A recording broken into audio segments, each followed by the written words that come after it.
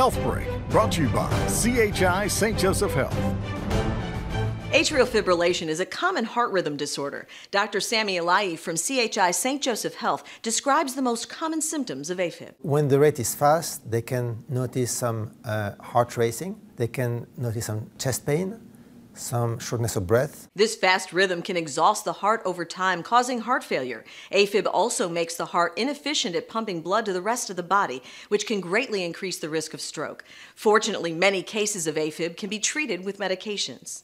The first thing we want to make sure is that don't get a stroke, which is something extremely important. We can achieve this by giving them blood thinner or by keeping the heart in good rhythm. We have two types of medications. We have medication that can slow the AFib, and there is another group of medication that can prevent the AFib of coming. For more information, go to chistjosephhealth.org. I'm Beverly Herbert.